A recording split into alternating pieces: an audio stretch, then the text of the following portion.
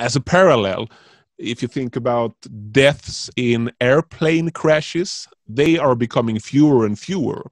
But as a result of them becoming fewer and as a result of new communication technology, we hear more about them. We hear faster about them. We get color pictures and and witnesses telling stories about exactly how they happen. So we are more horrified by this. And this creates a distortion um, where actually the world is slowly moving in the right direction, but we perceive it as getting more and more dangerous.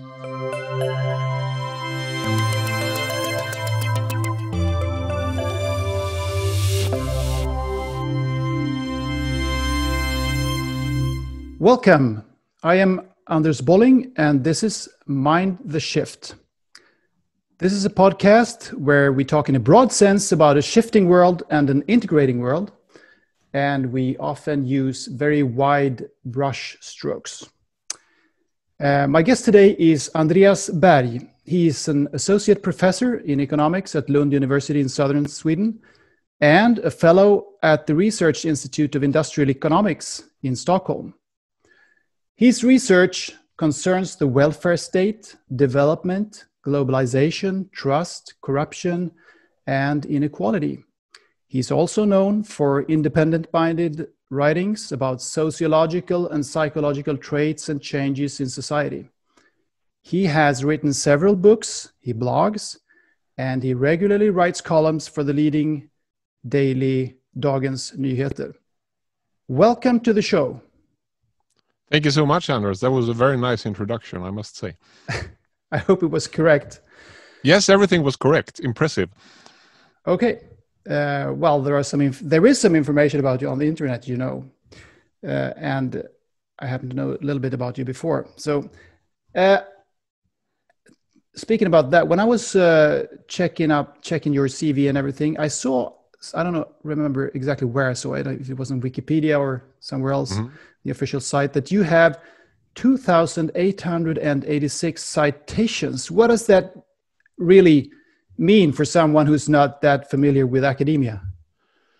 Uh, means I need to update my CV because I think I passed the 3,000 mark uh, recently. Oh, right. Um, so, so, well, uh, that's one of the measures that academics tend to use to measure progress and uh, distribute positions uh, and admit people uh, to programs and conferences uh, and so on. So people are happy um, about comparing themselves to others. Uh, perhaps the, sometimes they exaggerate, uh, but uh, also the, there's also the, the, the, meritocratic side of things that you need objective measures to avoid nepotism and such. So, so that that means basically I've been mentioned uh, about 3,000 times in other okay. papers. Peer, peer, peer, reviewed papers or, or just any papers or?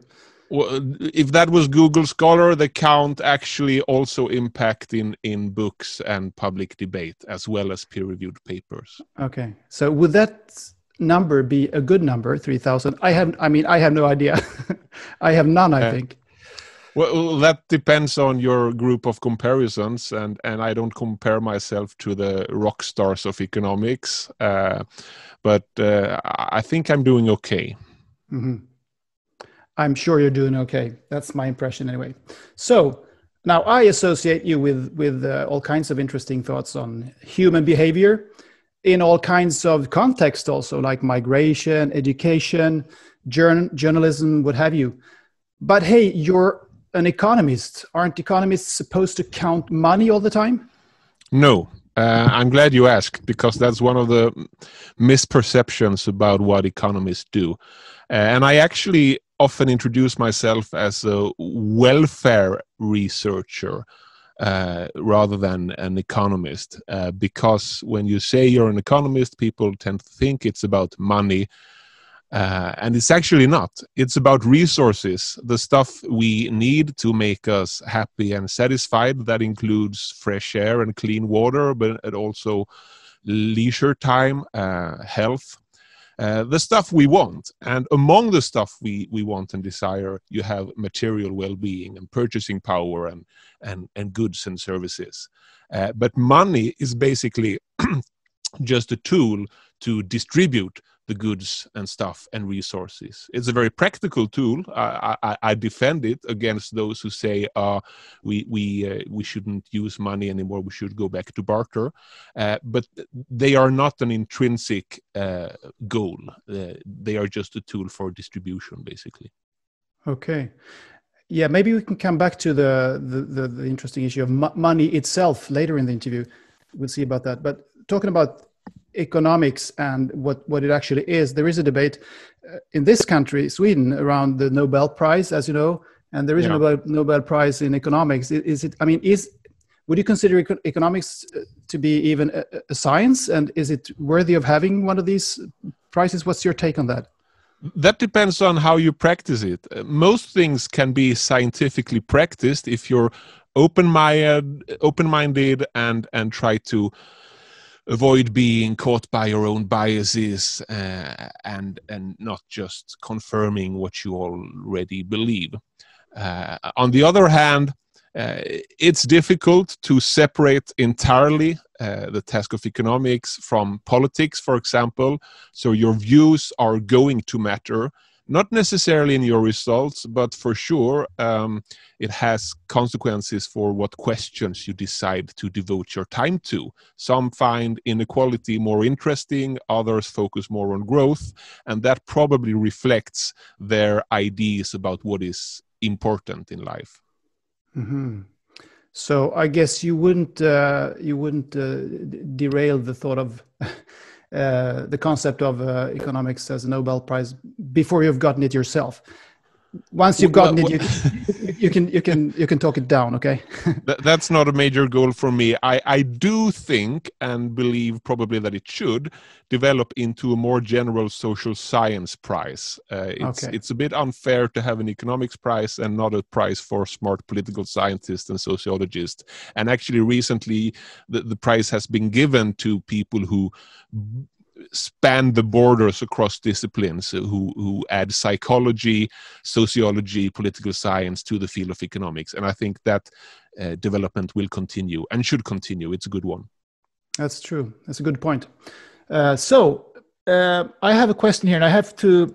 My first, I mean, I've had already asked you several questions, but yes. this is the first official one, and I have to um, apologize in advance for starting off with uh, with a ridiculously big question. But the thing is that the whole starting point uh, for this podcast is that the world is shifting, and largely because humanity is in the process of becoming integrated for the first time in history. I mean, that has never happened before, and people might argue that we're not integrated, but I mean, compared to how it used to be, anyway.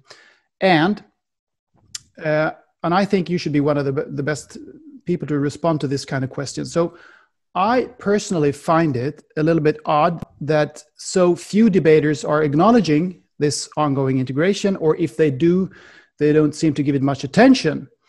So to me, there seems to be some kind of direction here, maybe albeit two steps forward and one step back, but still a kind of some kind of direction.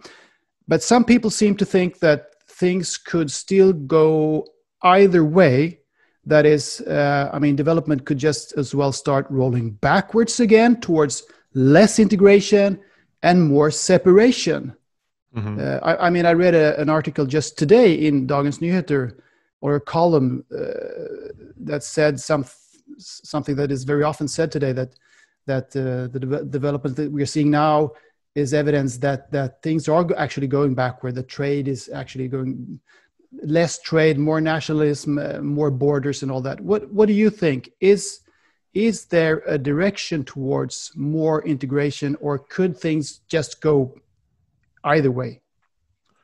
Well, things have gone uh, both ways historically. Uh, you're right that the long run trend is towards uh, more trade, more travel, more information flows across borders and, and globally.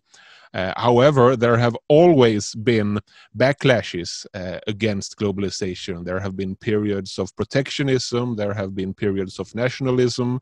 Uh, and I think what we're seeing now is a bit of a backlash against the very forceful and rapid increase in globalization that we had in the 80s and the 1990s. Um, and and what else is is to expect actually. Um, more recently maybe this has gotten even worse or better depending on how you look at it. Uh, but i think we're seeing now also the rise of regions regionalization in the fact that many big manufacturing firms uh, no longer feel that it's enough to have only factories in one country, say, for example, China. Um, because it's risky uh, both with respect to uh, global diseases but also with respect to trade policies and protectionism so they feel that they need to have one factory in in each region of the world uh, and that might actually also lower transportation costs and and give them a better customer service or whatever. So I don't think that's necessarily a bad thing. In the long run, I'm pretty sure uh, that um, technology will bring us towards more and more uh, integration uh, across the world. Uh, borders are political constructs, but technology knows no political limits in the long run. Hmm. Okay, yeah, I couldn't agree more. Actually, I mean, I love looking at Google Earth uh, uh, yeah. when you can there are no borders. You know what i'm talking about. When you just see see earth from as it is as it looks from space and you don't see the borders and you, you actually see what's that's chunks of land and chunks of sea and and people living there. So yes. it's a construct as you say. Okay good. Uh, and now this has something to do with what you just talked about i guess uh, but um, anyway, there you've written a bit about the so-called negativity bias, mm. as have I. Uh, to explain to the audience what this is, uh, it's basically uh, our propensity to look for uh, bad things, uh, misery, as opposed to to concentrate on the, all the good things that are happening happening all the time. We tend to forget those and and um, uh, look for and detect danger in every corner of life and this yeah. is uh, uh, this, sorry yeah. I, I, don't think we necessarily look for the bad thing uh, things. We, we, just give it more focus. And and that that is and has been completely rational. You you should be rapidly aware of threats uh, against uh, your your yourself or your family or your society.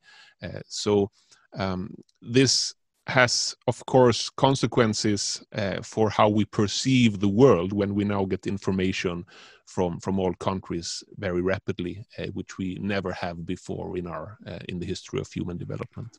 Yeah, so it's something uh, basically something good. You mean that, but but it's it's become a bit of a problem in a world where there are less risks around. Well, our, our, our gut reactions were, were shaped uh, when the world was uh, far from globalized when when we knew about 30 or 50 people in our group of hunters and gatherers and, and then we spread across the world uh, but we lived like that for a long time and and the most recent information revolution is only uh, a few decades old. So of, mm-hmm. of course we are still learning how to cope with this massive information flow that that we now are facing every day. Okay and the, the, the so-called lizard brain is tricking us a little bit here maybe. Yes Okay. So, but lately, actually, some quite a few writers and debaters have have talked and written about this thing, and and and also pointed out that we have a negativity bias, and maybe that's not all uh, all good for us. I mean, you is you are one example, and then you have uh, people like Rosling, Pinker, Ridley, Norberg, Roser, yes. and, and myself, and exactly. yes, to some extent, and and there is even something today called constructive journalism, which I think, think is, is a brilliant concept, and uh, we never saw that before. So mm. it, maybe something is happening here. Do you think that we are finally freeing ourselves from from the chains of the the old lizard brain here? Uh, well, I don't think we are freeing ourselves, but we are learning how to handle it better. Uh, and I think that, that that's the answer you should give if you're a rational optimist in, in the sense of Matt Ridley, for example.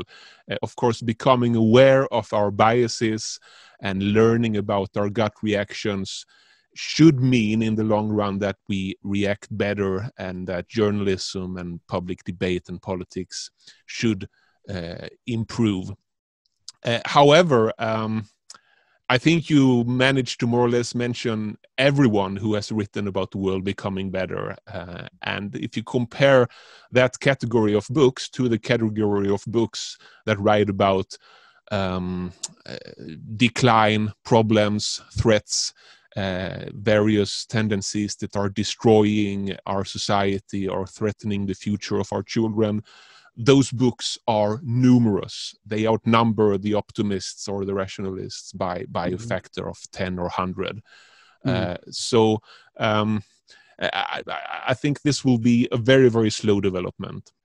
I see actually a tendency uh, among people to say these days, sure, things have become better, acknowledging the impact I think in particular Hans Rosling has has had. Mm.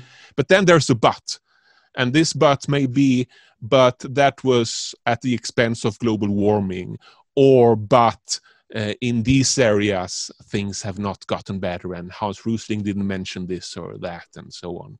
And I think if if that's the only effect, then the optimists or the rationalists have not had a great impact. Uh, what we should do is to say, sure, we've had a lot of progress. Uh, but many problems are becoming acute, and to tackle them, we must learn not only from our mistakes, but also from our progress. What did we do correct in the past when we solved uh, the problems of the past? And with reasoning like that, we make good use of our lizard brain, as, as you put it. Yeah. That's a good point. I mean, uh, actually, focusing on what did we do right. I, I know that Steven Pinker has has pointed that out and talked about that it's yeah. a question we ask ourselves too seldom, I think.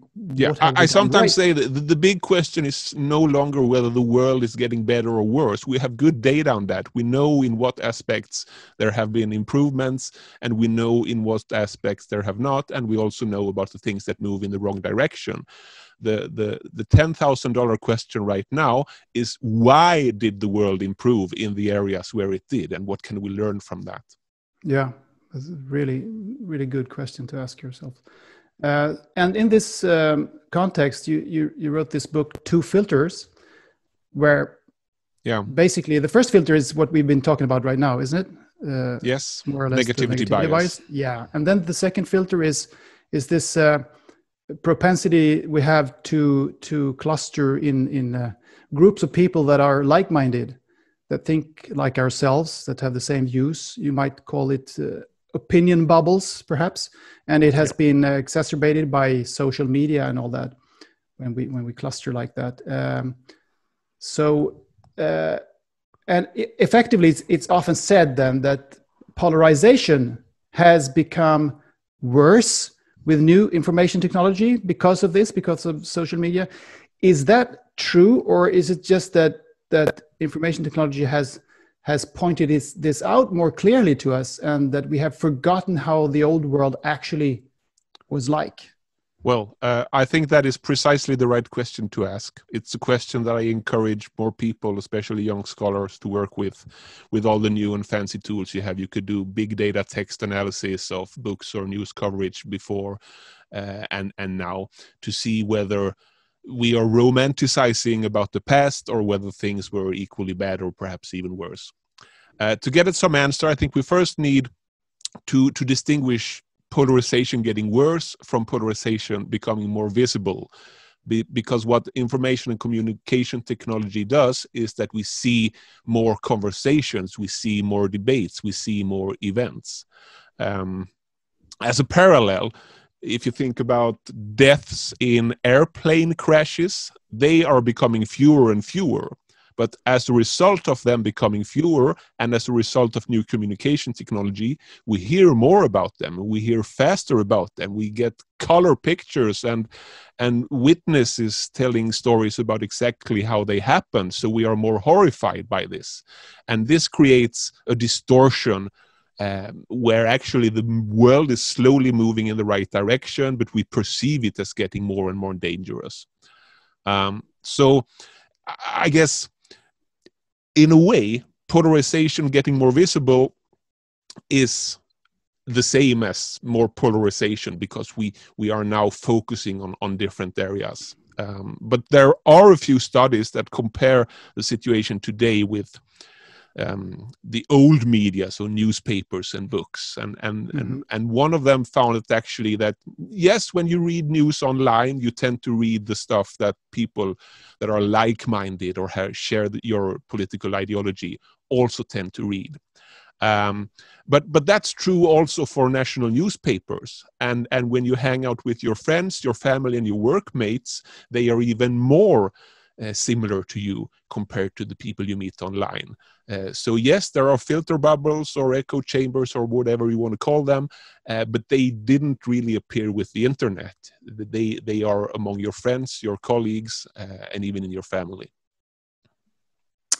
Yeah, that's really interesting. I personally have the uh, experience that I, or I, I, I think that I have the experience of actually meeting or running into uh, opinions uh, very different from my own uh, surfing on the internet, being on the yes. internet more than I did before. Because I mean, how how would I how would I do that in the '80s, for instance? I mean, uh, that would entail talking to strangers on on trains or i don't know how how, how did even how, how, did people even get in touch with the other side of things no i think that's a valid point. And there's a another psychological bias is that when you remember the the, the summers when you were young you tend to remember the, the, the days when the sun was shining and you went swimming yes. and everything was nice and you forget about the boring and, and the tragic things that happen. And i think there's a risk that we're doing the same with political debate or public debate. It's also i believe worth noting that polarization may not necessarily be a bad thing. I mean, now we are discussing filter bubbles and the polarized society, but only a few decades back, I think both you and I are old enough to remember this quite quite clearly. Uh, many people were worried about politics becoming boring. Uh, the major candidates in the states, the Democrats and the Republicans, and, and in Sweden, the Labour Party and, and the right wing party, uh, they became similar and, and political scientists were worried that maybe uh, democracy were, was losing its nerve that people were not engaged that we stagnated around some kind of welfare state based on a capitalist economy and that was that. And that was actually only 20 years ago. Uh, so it's worth reminding yourself of the positive aspects of polarization when we actually wanted political debate to become more intense uh, but of course, now we only see the negative side of it. That's that illustrates the negativity bias once again. Yes, it does. Yeah, it's really fascinating what you're what you're saying here because I, I absolutely remember that that period, and it was, as you say, not very long ago. And related to that, we also uh, today. Uh, oh, that was some kind of sound there. I don't know what it was. Anyway, uh, we're talking a lot about, or debaters are talking about. Um, the rise of uh, conservatism and nationalism. Hmm. And many people are very concerned about that, uh, worried about that.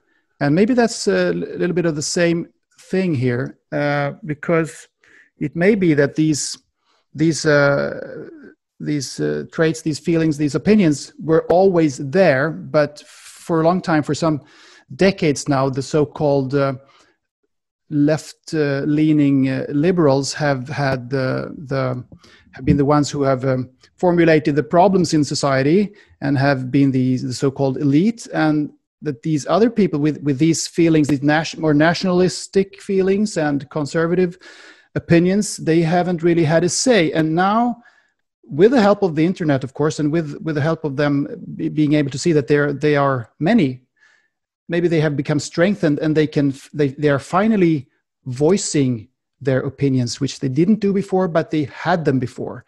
And yeah. so there's also some kind of misconception that this is something new when it's really something old but all of a sudden we see it but the liberals are shocked because they didn't even realize that these people existed. Would, would you describe it uh, that way as well that this is what has happened uh, to some extent, uh, I think uh, you should do research on many things, but you could also do research on this liberal intellectual elite because uh, I was actually shocked by the surprise among many uh, in these groups when the Sweden Democrats, for example, entered the Swedish parliament. They acted as if these opinions had never existed and suddenly mm -hmm. they, they were in the parliament. Whereas if you are only slightly more aware of um, the whole span of society, uh, you at least I was thinking that well, these opinions are clearly there. Uh, the parties don't uh, run in the election or their candidates are complete lunatics so people don't vote for them but when they get their act together become more organized there's a big potential for right-wing populist uh, slightly xenophobic parties that didn't come as a shock to me um, i think many in in the liberal elite uh, has had slightly naive or exaggerated expectations on the effect of political participation on people's views and opinions and, and mm-hmm. values. Mm-hmm. Um, back in the 90s, when politics was boring, there was also a hope that if people participated more politically, they would learn to see the world from opponents' points of view. They would learn about the difficulties uh, of political and collective decision making.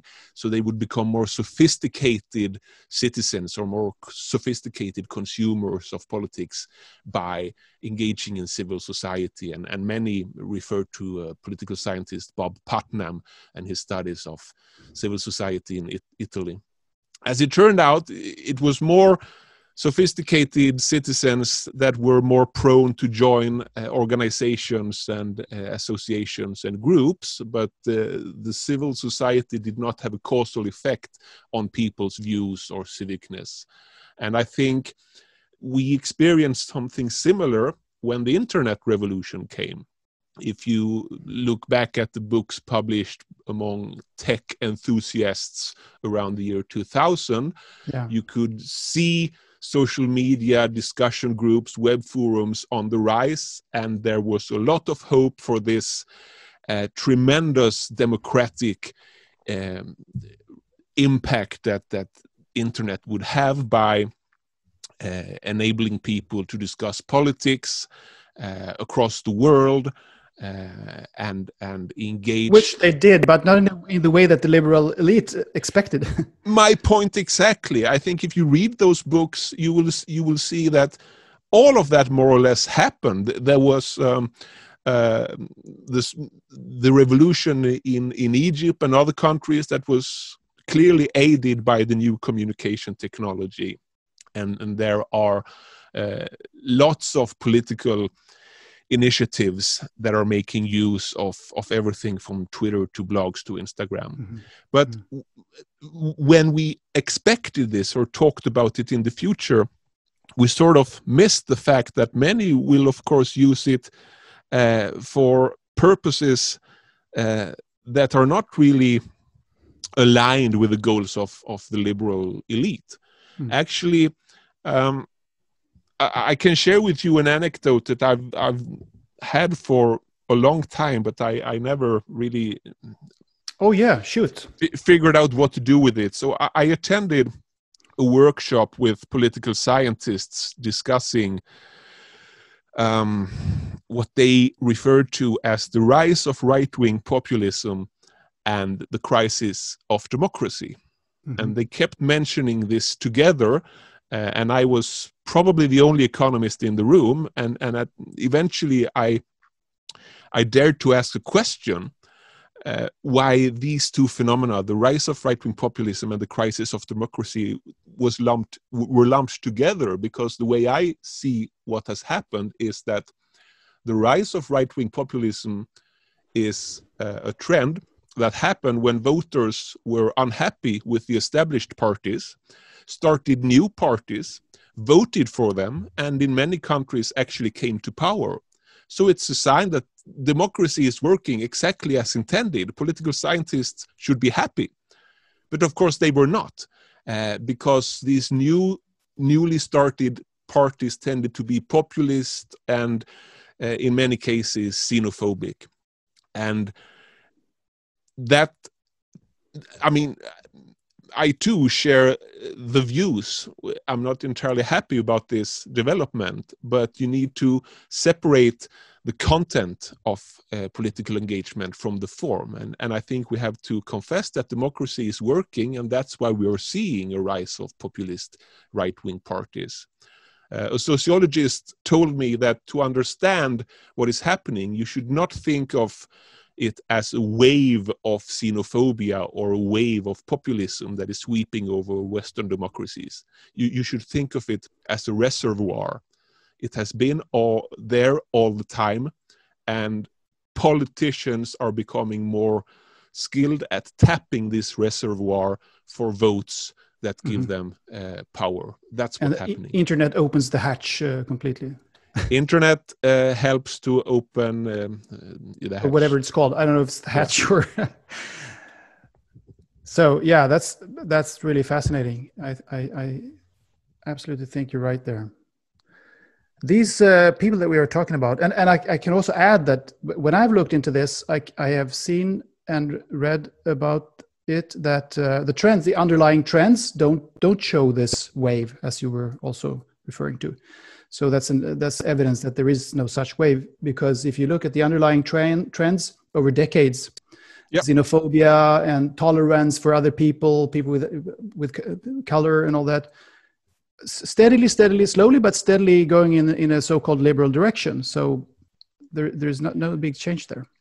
That is entirely correct, and I wish more people knew about this and understood that there is no tension between these two facts that parties are gaining more votes because more people are voting um, along this dimension.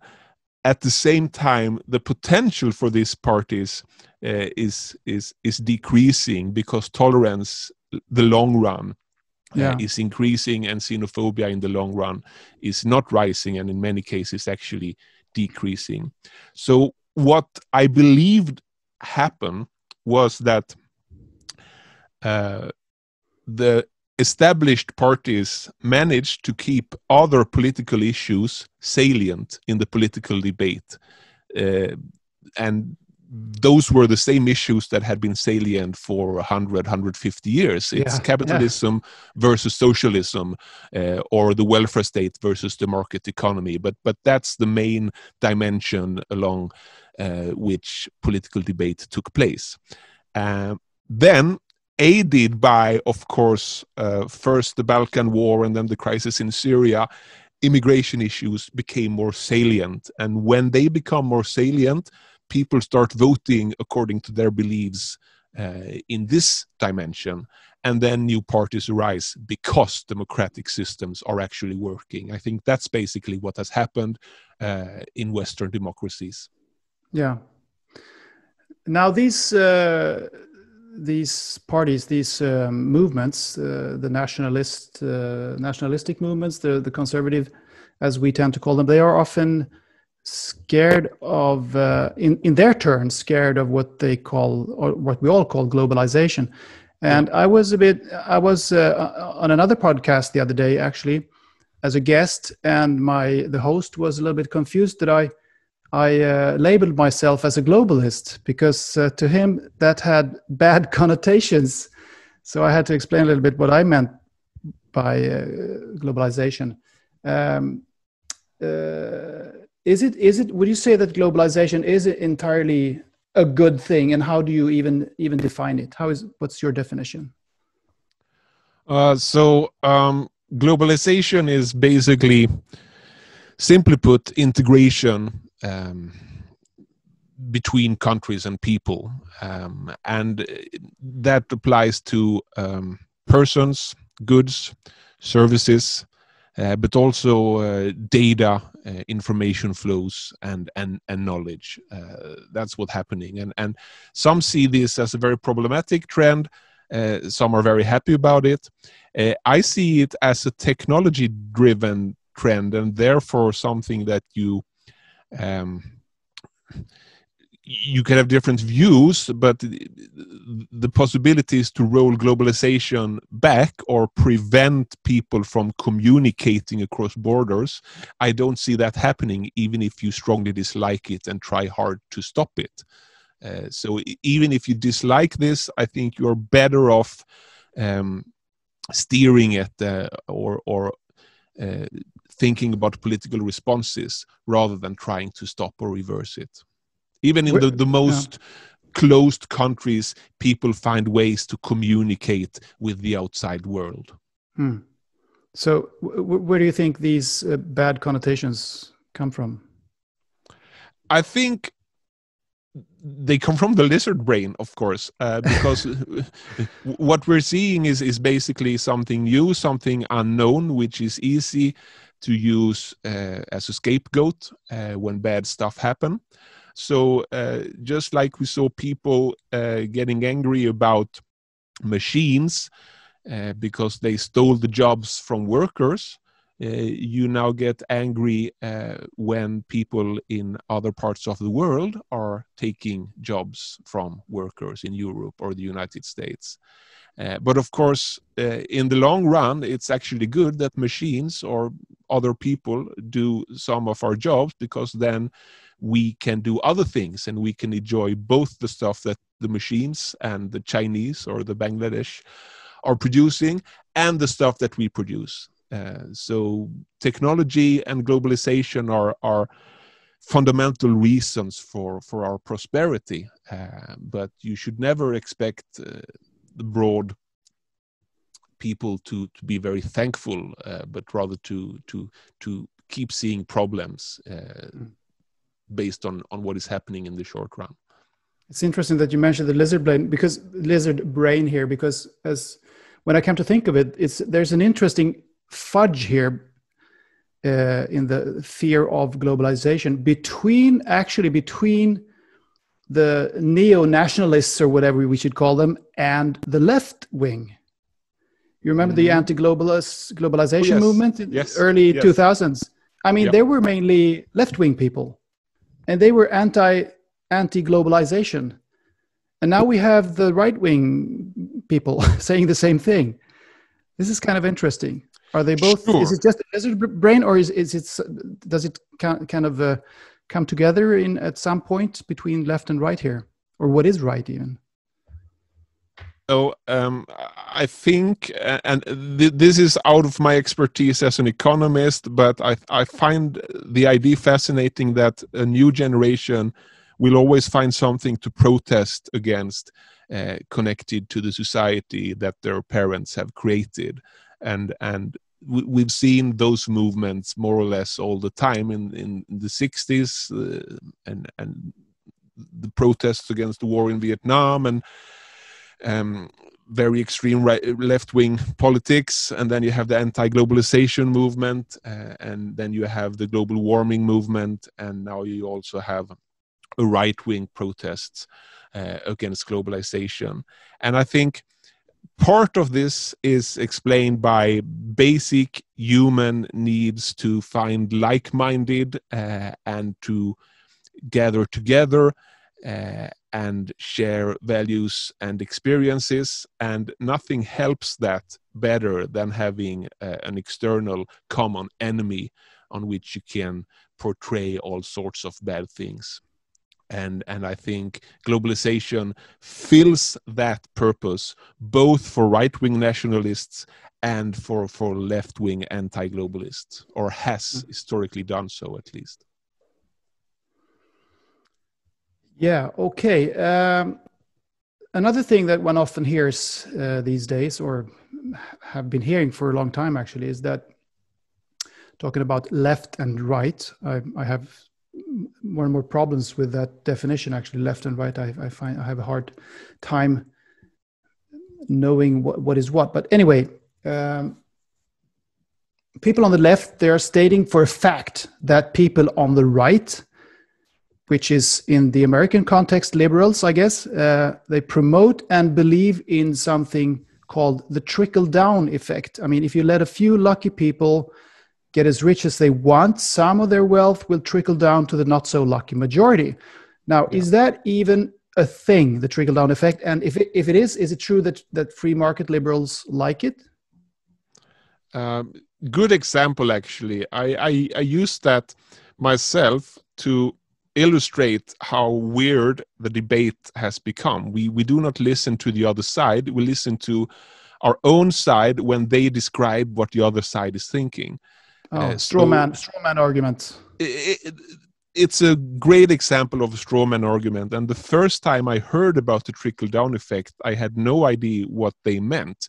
And, and I heard about it from left wing uh, politicians telling people what they were thinking on the right uh, part of the spectrum. But most of my friends were at the right part of the spectrum at that time, and I had never heard them make a similar argument uh, even remotely similar to the trickle down effect. Uh, and I think it, the origin is actually, or, or, what they are trying to describe, um, is what people who believe in the market economy or, or would, would describe as a climbing up effect. Uh, they would describe it as social mobility. Uh, so people on, on, on the right that are market friendly would say, well, maybe income inequality is not that bad, provided that people who are poor today uh, have the opportunity to become richer tomorrow.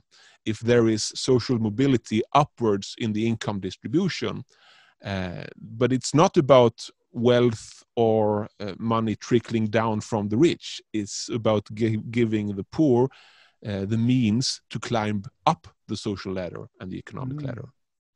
Okay, good that you got that sorted out then. Uh, and you mentioned inequality, of course, which is uh, at the core here uh, in this issue. Is equality inequality getting worse or not? Because you hear also a lot of discussion going on about that thing um, in the debate about globalization and where the world is going and everything. Is there was a there was this famous French economist Thomas Piketty is his yes. first name Thomas? Yeah, Thomas Piketty. He wrote this famous book about inequality, and and it showed, uh, according to him, then that it was it was actually, as a matter of fact, getting getting worse. Uh, so, what's your take on this? Was he correct there, or was he wrong, or or is it both ways? Well, when it comes to the facts, he was basically right, but he was talking about inequality of wealth and income within countries.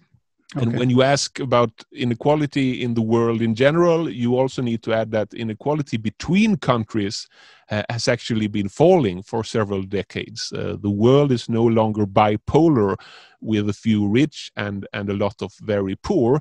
Now, uh, the world has a big middle class uh, with a few countries that are much poorer and a few countries that are much richer. But, but the income distribution has uh, one single peak uh, in the world, uh, just like it has within each country.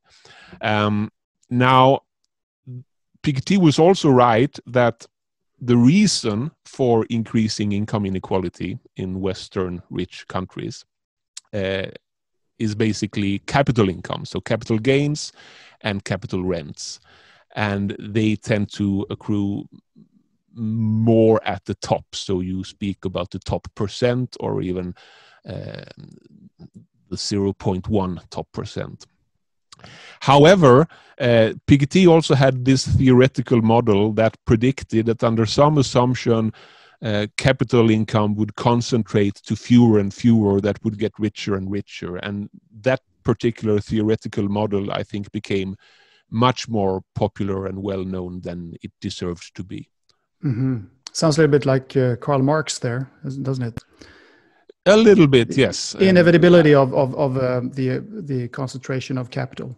Yeah, I think Piketty will will be happy with with that reflection. okay, so.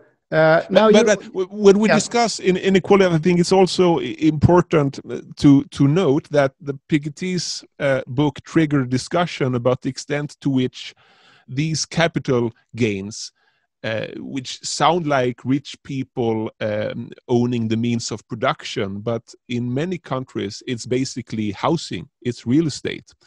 And the reason why they are increasing is that house prices uh, and real estate prices are mm-hmm. increasing. Mm-hmm. yeah, look at countries. Stockholm. I mean, exactly. So so you you you time your uh, first apartment or first house correctly and then when you sell it you make a big profit and that year you are registered as a high income earner. But the next year you you move down again in the income mm. distribution. But the next year someone else sells their house and mm. now uh, the market has gone up even more. And you and never I actually think, have the money in your hand well you have uh, if you cash out and, and move away from stockholm or uh, when you retire and move to something smaller uh, that's that's that's when you get to spend it. Uh, and and this this actually partly signals that problem is actually not that big. But i would also say that it is a big problem if the biggest decision regarding your economic standard is the timing of your real estate uh, transactions. It's it's really odd. This will matter more than uh, your education decisions or your work decisions, or uh, if you come up with good good ideas or or even start firms. If you start a good firm, you you can get rich once you sell it to another firm. Uh, but as long as you work there. Uh, you're not necessarily uh, a rich person. And I think this says something potentially problematic about uh, the reasons for inequality. Um, it's really hard to get rich by by working uh, and educating yourself, compared to timing your real estate transactions well. Okay, but then there is there are a few entrepreneurs as well who who who make it, but there are not very many. No, they are impressive and and they are fascinating, but they are not representative.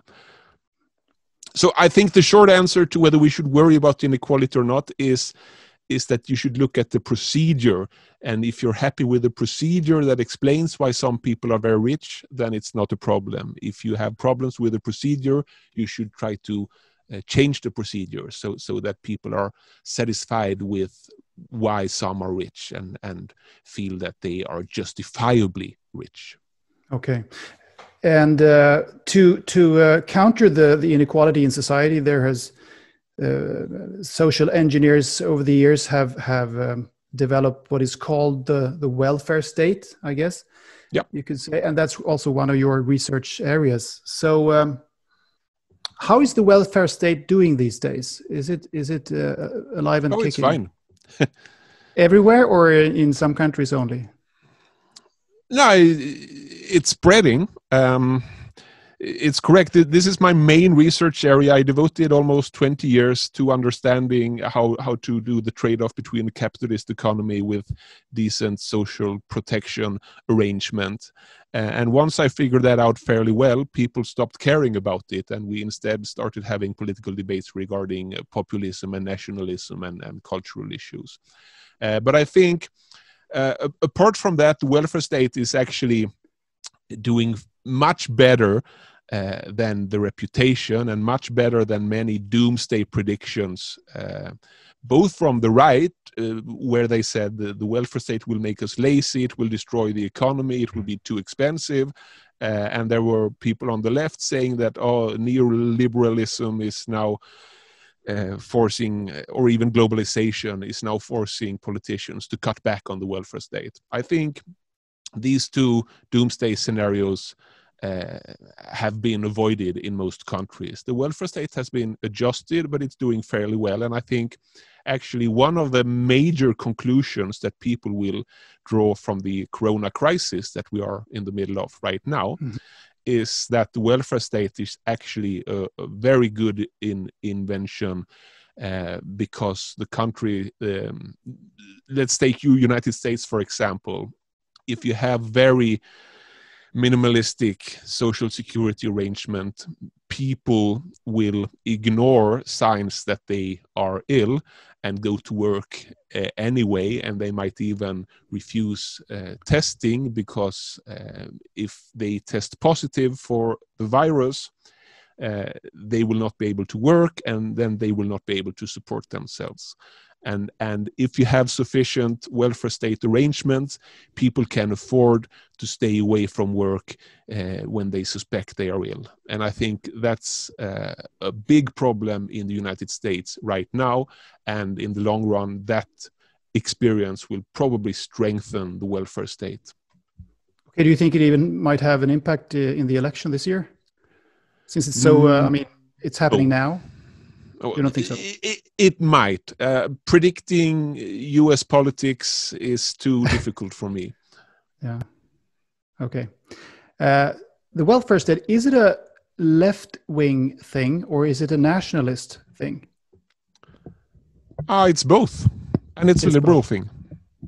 And it's a liberal thing too. Okay. Yeah. It's all. It's everything.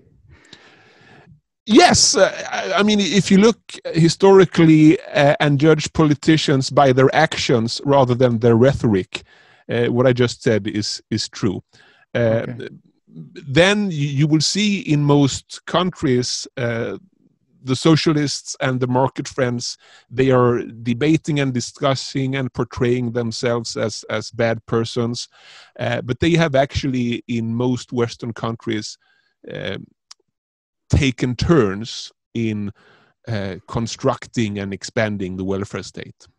Okay, so and then they they have also taken turns in um, changing it uh, and making some adjustments and cutbacks to prevent the welfare state from overshooting and making it more sustainable in a global economy. Uh, and I think uh, Sweden is, is one example of that, which, which I have written about in, in my book called The Capitalist Welfare State, which sort of summarizes this fact that the welfare state is, is when it's working as at its best, it's combined with a competitive, well-functioning capitalist economy. Uh, you need a good business climate and property rights to finance the taxes that that make up uh, the welfare state.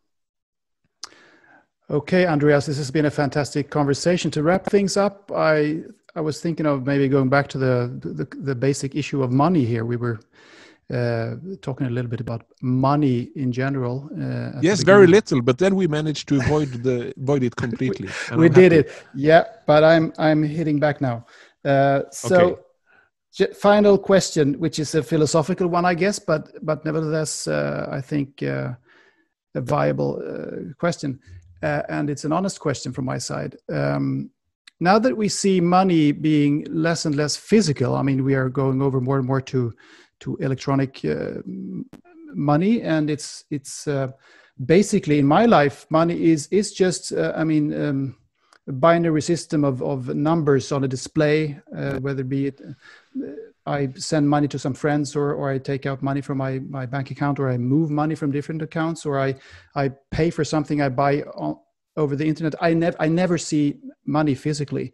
So that gives the impression that it's may, maybe this is a first little hint that um, th- this rapid shift away from physical money is some kind of embryonic step, you might say, away from money as a means of valuing stuff in general. And this is, of course, a very, very long trend. But you, you said in the beginning, I think that that's it's not a good idea to go back to barter. But but could there be something? I mean, could it be shifting in a way so that money will be something different than what we conceive it as today in say 50 years or whatever? Well, in 50 years, um, we will not see it, but it will still be there. Um, and and that's not a new thing actually. We we started our economies without money as we know it now. Uh, we used sacks of grain or, or even cattle or stones or whatever um, to facilitate barter. And then we invented basically paper money which were basically first they were notes saying i owe you three sacks of grain. And you just put the grain somewhere where you trusted them to remain and then you started uh, making business using these sheets of papers instead. Uh, and then you invented coins because you wanted to attach some value to to the money to prevent people from just counterfeiting uh, false money. Uh, then you got rid of this valuable money because it was useful for, for central banks to be able to print more money uh, when they, um, well, initially because they wanted to finance war that they couldn't finance otherwise. Uh, then we found out that plastic was more convenient than paper and coin and we started using plastic cards instead. And now we think plastic uh, cards are a nuisance. You don't want that. You just want to use your your cell phone instead and get rid of the plastics. Uh, so now money is is changing shape again. But it's still there as as a measure and a store of value and an account uh, that we use uh, whenever we barter and, and deal with other people and, and it will always be but maybe it will affect the the speed of inflation and things like that. That, that uh, the worth, uh, the value of money, will change quicker when we don't have physical. I, I don't know. I'm just guessing here. Yeah, I'm guessing not. So the, the inflation is basically just uh, an average of the prices uh, that we have, and the prices are determined by supply and demand. Uh, yeah.